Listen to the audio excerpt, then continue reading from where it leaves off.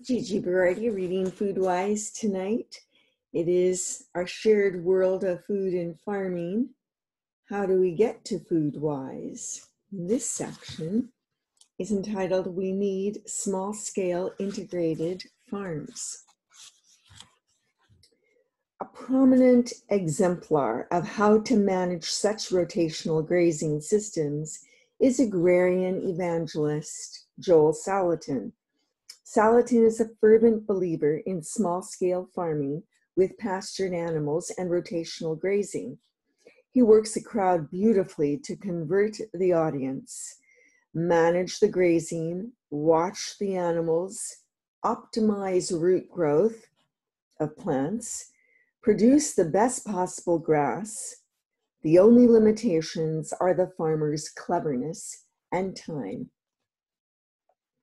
The level of intensive management practiced by Myers and Waring, who we talked about yesterday, and by Salatin gives them a close connection to the food they produce.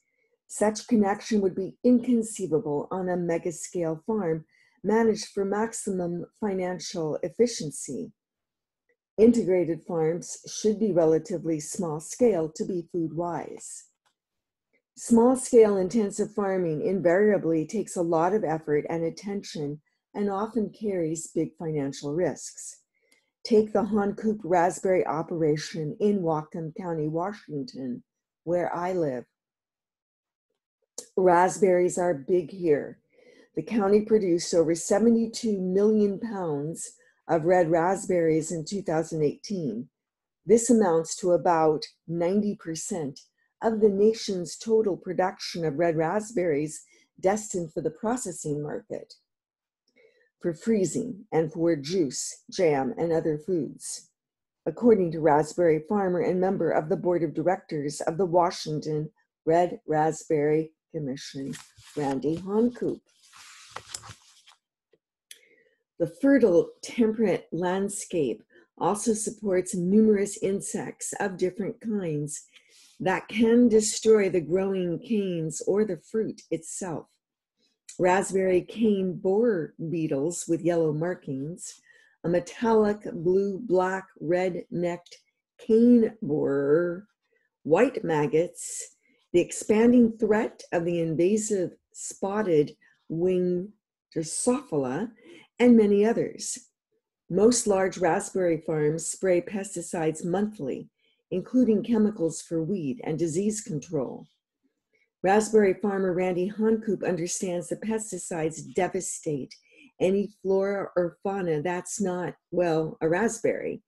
Instead, Honkoop uses a version of integrated pest management to control pests on his relatively small farm of about 60 acres, which amounts to less than 1% of total Whatcom County red raspberry acreage. Still, it's a lot of investment for him to protect. We'll hear about integrated pest management or IPM tomorrow. But even with 60 acres, that is a lot of investment.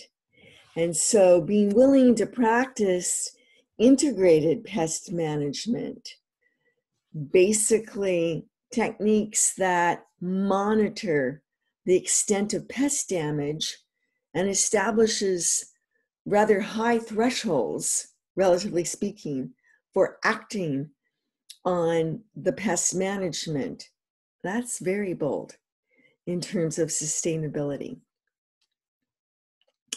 Uh, the article tonight talks about more bold decisions, but in the arena of colleges and universities. So, Katherine Long has produced this first article in a two part series uh, looking at finances and uh, the fiscal health of colleges and universities, which are now anticipating relatively large budget cuts.